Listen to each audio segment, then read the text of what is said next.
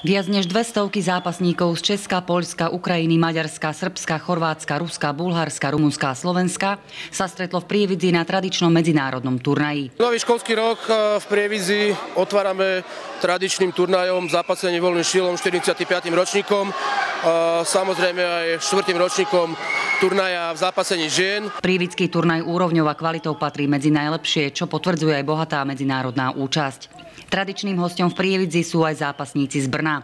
Šéf-tréner mládeže Milan Žáček bol v Prievidzi prvý raz pred 30 rokmi, vtedy ako aktívny zápasník. Dneska jsem o tom přemýšlel, ani to nedokážu spočítat, jak, eh, kolik sezón už vlastně tady zahajujeme kolik podzimních sezon tady zahajujeme na tomhle krásným velkým turnaji. Eh, já bych to odhadl už jako trenér tak po 15. určitě, že na tomhle, na tomhle mezinárodním turnaji se svými svěřenci eh, závodíme.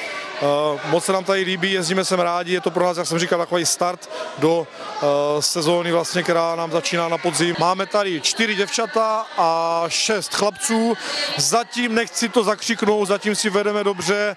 Z pěti utkání, které naši borci absolvovali, jsme čtyři vyhráli. V kadetkách zápasila aj prievická dievčenská nádej, 16-ročná Nikola Rusová. Tento rok som sa zúčastnila majstrovstiev Európy Bosne a Hercegovine, kde som bohužiaľ neúspela.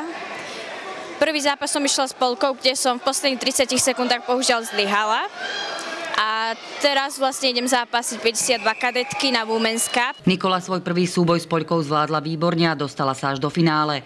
Na zlato na domácej Žinenke v sobotu však nedosiahla. Domáci postavili 24 športovcov, mladí prievidžania bojovali výborne a súťaž družstiev vyhrali. Prvé miesta získal Dávič Mátrala, druhých miest bolo viac, Patrik Pucher, Dominik Síkora a Martin Oužedník. Tretí bol Peter Drdúl. Nestárnúci Miroslav Marcinek si najskôr odrobil rozhodcovskú šichtu pri mládeži a potom bojoval na Žinenke aj on. Medzi mladými súpermi siahal po bronze, maďarský súper si však bronz ubránil.